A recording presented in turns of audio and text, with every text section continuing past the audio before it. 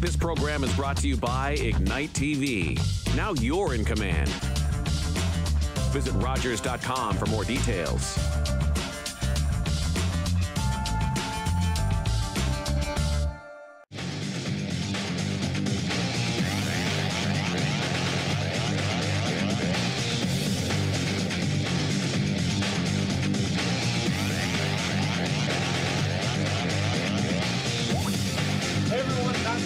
Sanderson here for another episode of Attack Rap. Today we have another special guest on the show with us. We have former Owen Sound Attack Theo Peckham on the show with us. And as a lot of people know, Theo is around this area, so it, this is a really nice treat to be able to have somebody even more local than we're normally used to. So uh, Theo, appreciate this, man. Yeah, no problem. Thanks for having me. All right, so um, I I know that you and I have had conversations over the last year or so. uh, that You've been definitely, you and, and your wife have been definitely dabbling in a lot of different things. Kind of tell us where you're at right now away from hockey. Um, yeah, so me and my wife right now we own the Great Canadian Boutique Outlet, which is on the west side of Owen Sound on the Sunset Strip. Um, yeah, it's just a nice, uh, you know, fashion store. It's got you know custom furniture, women's clothing, um, some home decor, and yeah, we're we're really you know enjoying being back in the community. And how how has that been uh, starting that or going and buying that and then uh, trying to immerse yourself a little bit more into uh, the city of Owen Sound? Um, well, it's more so my wife. Um, yeah, she's been working here for about um, nine months, and uh, the opportunity came came up to buy it, and, and we kind of jumped at it. Um, as far as myself, I, I just do the heavy lifting here. I just you know build stuff, uh, move stuff. I don't really do too much thinking around here, which is nice. Now I know uh, Theo. In the summertime, you actually had uh, an ice cream truck out, out front of your place there, over on the Sunset Strip. And it was really popular. Every single time I drove by there, there was always lineups. Tell us how that went and maybe what approach you guys are taking this year.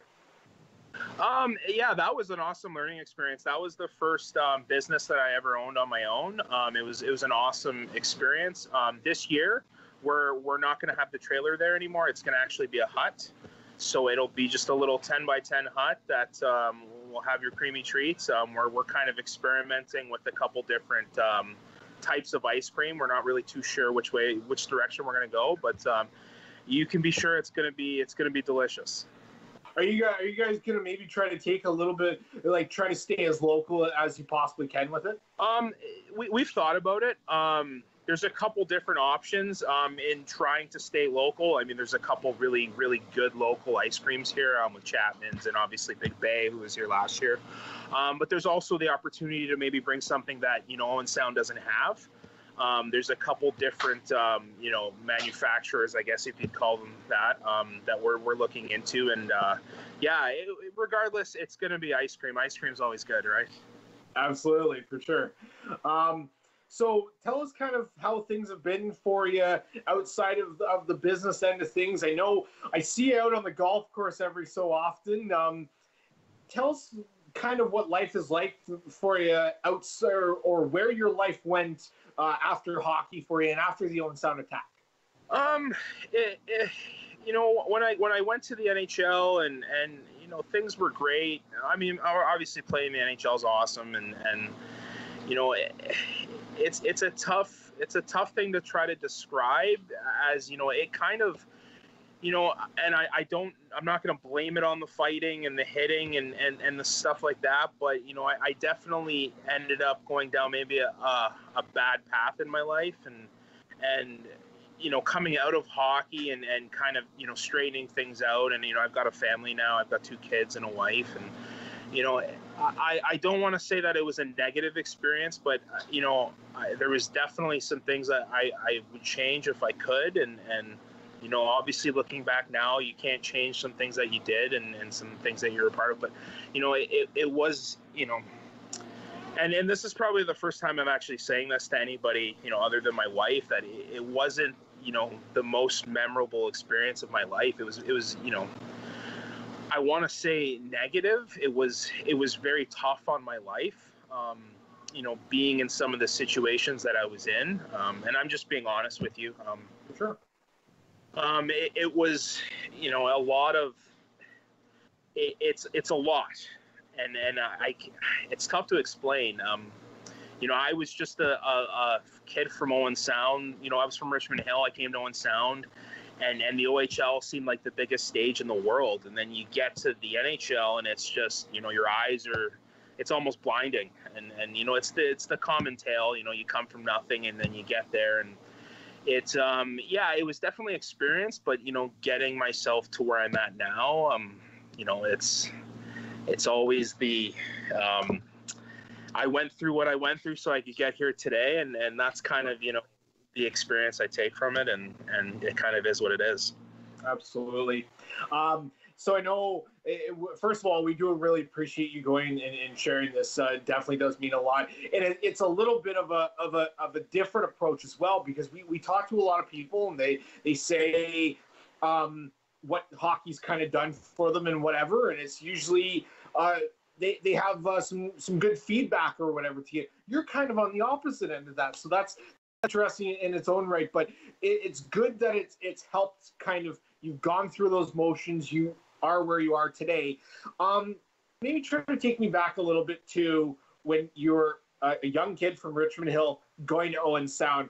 What was that like? Um, going from a from a, a, a, a city like Richmond Hill to the small town of Owen Sound. Personally, I loved it. I mean, obviously, I, I am back. You know, I live here now. Um, it, it, it, just in talking about my first you know camp and my first experience here, I actually forgot to skate my first camp here.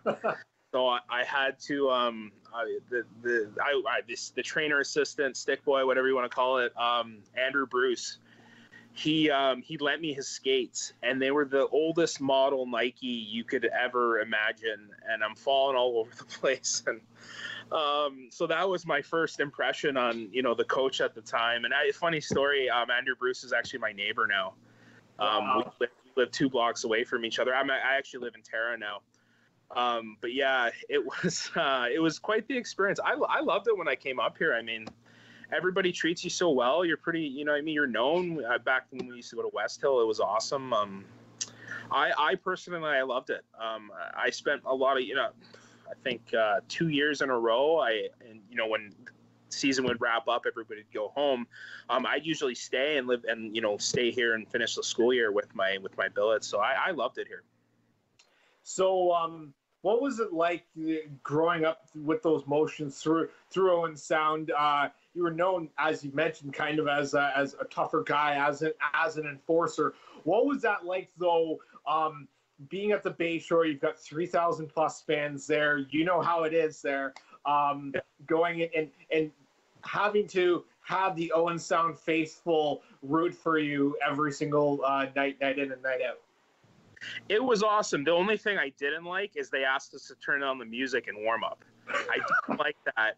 I I always had a sour taste in my mouth about that, but no, it was awesome. I, I you know I still remember you know like that one series against Kitchener, um, sock it to them night, things like that. Um, you know, it was always special, especially come playoff time. I mean, you get to like fourth row standing room, um, and how loud it used to be, and and being in the starting lineup, and it was just it was it was really special, and, and a lot of memories that um, that I'll you know I'll carry with me forever. Absolutely. So you go and and you uh, go away from Owen Sound, you go to the NHL, and then you come back. Kind of what what gave you that incentive to come back to Grey Bruce? Maybe not even go back to Richmond Hill, but come back to Owen Sound and Grey Bruce. Well, I actually married a local girl here, so I had no choice. here without me. Uh, but yeah, no, her family, they've been here, you know, her whole life. And, and when we were, you know, kind of, you know, thinking about where we were going to settle down, I guess, um, yeah, I just came up Owen Sound and I like, I loved it here. So, it, you know, I didn't have any, any issues with that. So compared to Richmond Hill, I got to ask you this Theo, Cause I ask every, every hockey player this, what the, the, the snow load is, is here compared just night and day to, to Richmond well, remember I played in Edmonton for four years. So fair enough. Fair enough. You know what? It actually snows more here than anywhere. Really? Edmonton was super cold, and we always had, you know, cold snaps. We had, you know, a week or two during the winter that was minus 40.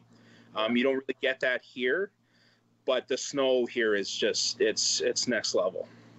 Wow. yeah, there, I, I, not a place where there's more snow as consistent. And knock on wood, we're having a really good winter so far, but um, I'm sure it's coming. It's it's You, always yeah. You, you and I both know it's only a matter of time before before the big one comes in. you know just so- before you think you might be golfing next week. You, it's it's a matter of time. It's, it's Exactly. yeah You- every you know, year. You know, you know what was funny? I was actually going and um, I was talking to. We had Jarrod Maidens on the show last week.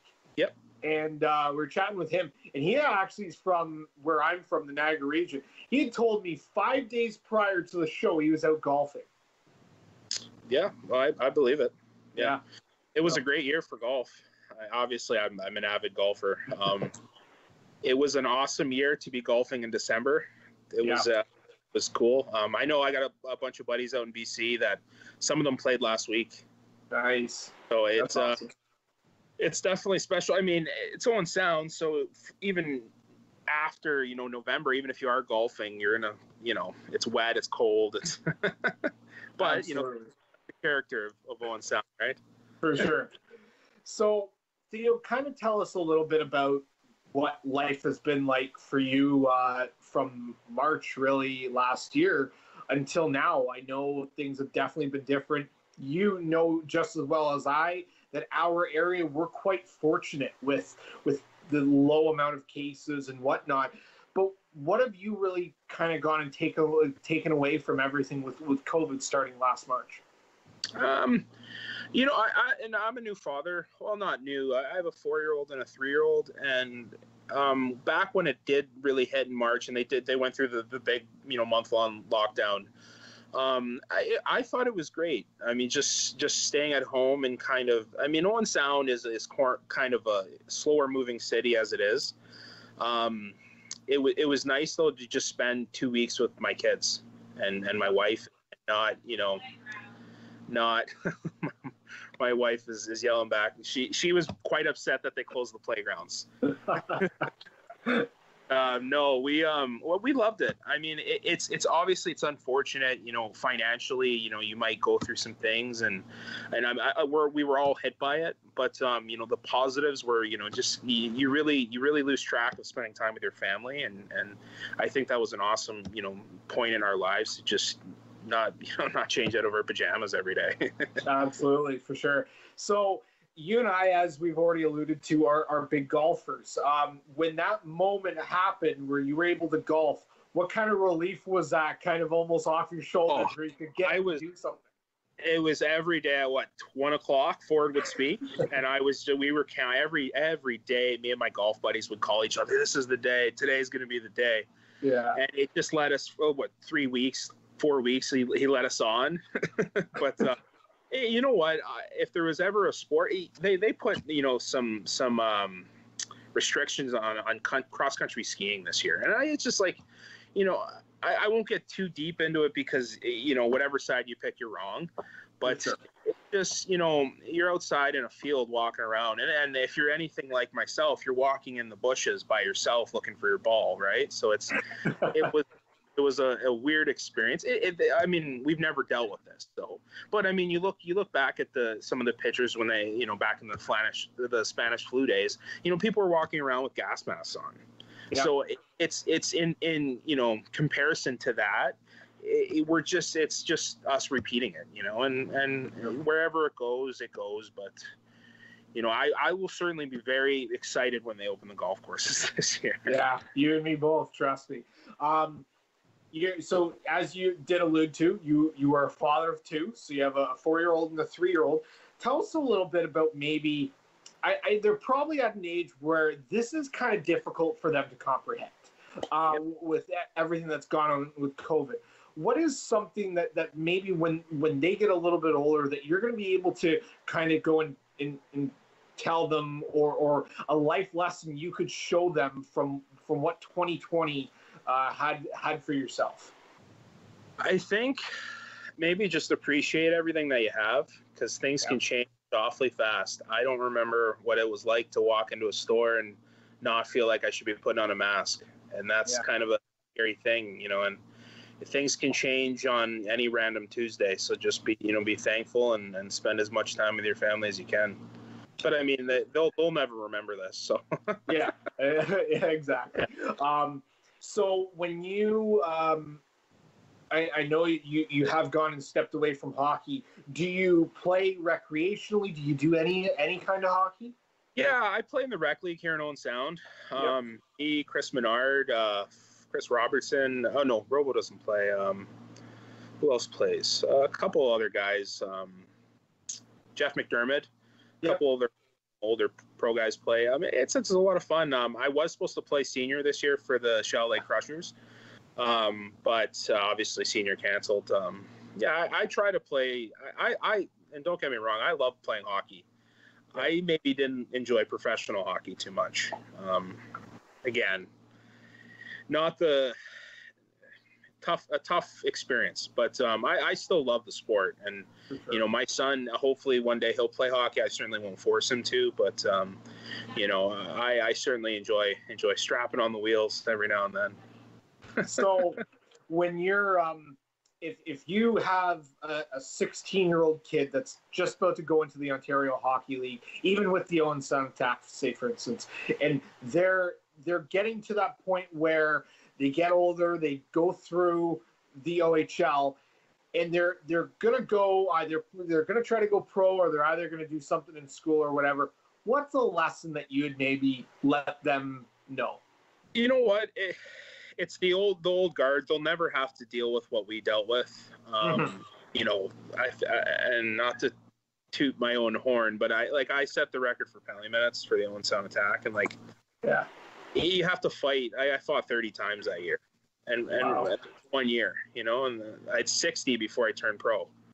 So like, just what that does to you, it changes you. We're not supposed to be fighting and and going out there, you know, like the the best way I can explain it is is you take an MMA fighter, you know, right now. So take, you know, Conor McGregor, he's the most famous guy in the world. So he fights you know, after he goes into the commission and they suspend him based on his injuries for anywhere from three months to a year. You're not allowed to fight to protect him for his safety. Um, us, you know, back in my day, you could you could get your bell rung and fight the next shift. Yeah. You know, there's really no there were no guidelines. There was no, procedures. There was just go out there and give it all for the team. And I, you know, taking it back, would I change anything? Probably not. You know, I'd still go out and, and do exactly what I did. But, you know, this day and age, the player today isn't going to have to go out there and think that he's literally got to fight for his job. Yeah. You know, and, and, and playing in the NHL, you know, you're, in, in my case, a player like me, you know, you're probably fighting, you're blocking shots, and you're killing penalties. You know, and, Yeah. and that, you're playing hockey, but, you know, you're not. You know, Yeah. you're hitting people, you're, you're trying to get the puck back and then you're trying to get it to the better players on the ice, right? And in terms of that, like the, the the mental, you know, and like I said, my kid will never have to deal with, hey, should I go fight that guy? Yeah. Hey, you know, i- i- having a coach send you to go fight somebody, that's the the, the most, you know, I, I can't tell you the the the fear, you know, being told to go fight Derek Boogaard, you know, Yeah. I that happened to me. I was I was 20 years old, know, 21 years old. Hey, go! That guy's broken three people's face in the last month. Go fight him. You know, like having things like that happen and, and just living, you know, one fight at a time. You know, every Tuesday, you're thinking about the fight you got on Thursday. Every Thursday, you got, you're thinking about the fight you got on Saturday, and it's just it's it's no way to to live. So in, in terms of a message that I'd send my son, you know, if if the if the times were the same, it's just if you don't want to do it, you don't have to. Yeah. You, and go out there and love the game, play the game. And if if maybe you're not good enough playing the way you want to play, Yeah. don't don't think that you're ever going to catch any heat from me because you're not doing something that somebody else wants you to do. Yeah. You know, that kind of makes sense. Um, you know, I spent 10 years, you know, uh, just doing stuff that maybe I didn't enjoy. You know, maybe I, I didn't love. Nobody loves. I, I mean, I, sh- I shouldn't say that. Some guys love fighting. Yeah. And I think you know you can look at it. You can watch a player, watch them fight, and, and know if they like it or not.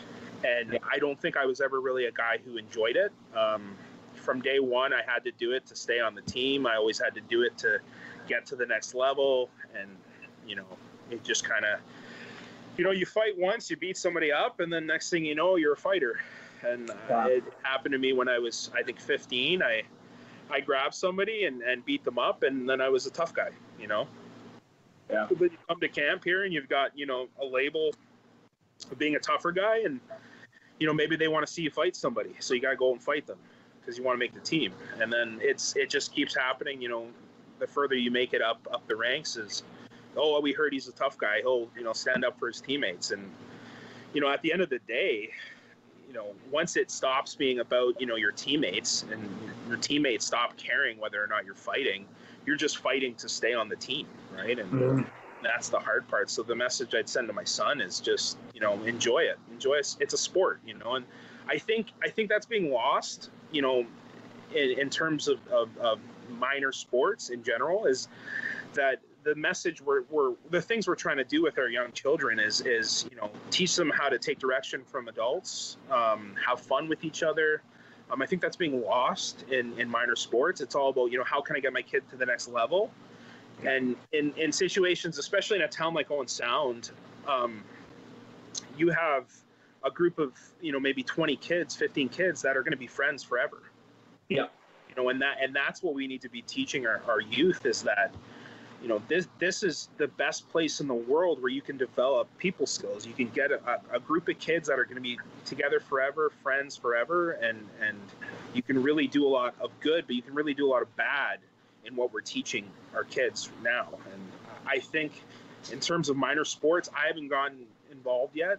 Um, Yeah. i don't know if i'm going to be able to for that reason. Yeah. that i'm not trying to get kids to the next level. I would never it, it, and I don't, I don't want to badmouth anybody because a lot of guys that's what they're doing now is is they're developing youth. And I completely understand that the drive to get kids to the next level. But I think we have to be more you know focused on creating human beings than than good athletes you know? Absolutely, for sure. Um, no, you, you had you had a, a, a lot of really good points and I and I think one of the, the things that people do have to realize is being like being an enforcer isn't all about going out, like you said, isn't all about going and laying a couple big hits and dropping the gloves. It, it, it looks exhilarating on TV, but when you're in the moment, it's definitely different. So we do really appreciate you going and terrifying. Yeah. Um, unless you're the you- big dog at the park it's it's terrifying yeah. You know, and- would you would you go and say um uh like would you say that um in your with your time in Owen Sound and and even what you might have taken away in Edmonton, would you say things like time management and uh maybe organization stuff like that. Has been something that you've been kind of able to take away from hockey to even establish in, in uh, like a business sense? honestly that's the things i was bad at. So okay. um i i like i wasn't the, the model pro you know uh, um you know what though? The things i did take from hockey you know just sitting in a room and talking to people. You know i'm usually pretty comfortable um i mean you do so many appearances and stuff like that with hockey that you can usually put me in a room and i'll make some friends um, Yeah. that's that's pretty much the, the one thing that i really did take from hockey into i guess my career as an entrepreneur yeah. So uh, let, let's kind of, we only have about five minutes here. Let's take a, a quick step back and say, uh, kind of, where are you aiming um, for for yourself as an entrepreneur? I know you did mention the fact of you're you're going, you guys are going to have a little ice cream hut out there, but do you have anything kind of down the road that maybe you're you're planning? Have you that have you thought that far ahead yet, Theo? I have actually. It's funny. Me and my wife just talked about it last night. Um, it involves golf. Um, Okay. I want to. It's it's it's just slowly getting in the motion, so I, I don't want to say too much about it. But um, I'm hoping to bring you know some more golf to Owen Sound. Awesome. Um, obviously, it's my passion. It's what I love. I, I, again, the same message I'll, I'll, I'll, tell my kids is just do what you love. And the, the old model, if you if you do what you love, you'll never work a day in your life. But uh, um, besides that, I, I don't really know. My wife calls all the shots, so I just happy wife, right? Absolutely. um, so so obviously you've gone out, you've you've gone golfing with uh, maybe a couple guys even from the attack or, or even some some uh, pro guys that, that you kind of met along the way. Um, who would you say is kind of the best uh, the best golfer out of your out of your guys that you that you played hockey with? Ah, none of them. I think they were pretty. they're all pretty bad like I just so I recently really got back into golf. Actually, since I retired, probably. Um, but like I used, we used to golf me, Devan Dubnyk, Ryan Jones, and like we were all like equally bad. Like it, we none of us were really good. Um, who was good? Horcoff was pretty good. Um, okay. A lot of stories about Mike Modano and and Dan Cleary being all all time golfers. Wow a lot of stories about Mike Modano not just not working out. Yeah. He'd come into the, the gym while the guys were working out and he'd do a couple golf exercises. He'd grab the ropes and work on his, his, his, his swing a little bit in his flip flops and then just just walk away. I think his what did he used to say? It's only as hard make it. so, and these are just stories I heard. Um, but uh, yeah, no, nobody really good. Um, I know uh, Marcus Carroll. Yeah, terrible golfer. and I hope somehow this gets back to him because we're supposed to be playing golf here. Uh, uh, probably in the next month or so, and once this lockdown ends, I'm going to head over there and, and play some simulator rounds with him. But awful golfer, just terrible. it's funny because uh, Marcus has actually already been on the show, so that's uh, that's pretty good. Um, uh, Theo, before we go here, um, from your time in Owen Sound, do you have um, do you have maybe anything that you want to go and, and say to attack fans, uh, maybe that you weren't able to say before you went pro there? Um, sorry, I just got my little guy. Um, you know what? Just thank you. Um, you know, I, I, was made to to feel really at home here. Um, you know, the everybody from the you know just the the, the fans to the boosters. Um, a really special story, actually. Um, Helen Lewis, um, and I've never told anybody this. Um, when I was my first year, I, I, I told I made the team. Um, I couldn't afford a suit, and uh, she brought me out and bought me a suit from Kornblums. And um, just a special shout out to her, um, just the, the type of person that she is. Um, that you know that no need at no point did she have to do that, but she did. And you know if I could ever say thank you to her, um, I, she actually lives in Tara with me, and I, I say thank you all the time. But you know if I could publicly do that, that's awesome. That's awesome. That's cool here. Listen, Theo, this was uh, this was a, a good attack rap. We were able to kind of get a little bit of an of, of a different look in, in, things, and we appreciate you sharing this, man. I, I know we chatted earlier in the in, in the year, and you're kind of you, are on the fence about it, but we appreciate you joining us here. It was, oh, it was a lot of fun. Thanks, guys. All right, uh, and hopefully we catch you out there on the golf course this year too. Warming up. awesome. Okay.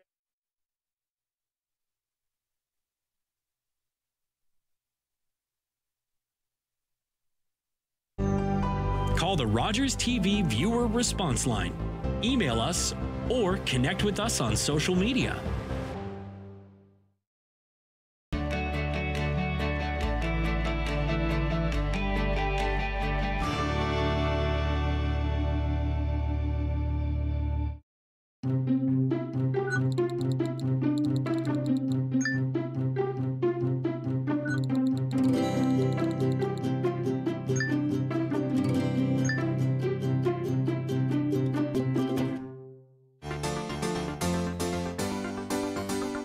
Captain Kidd.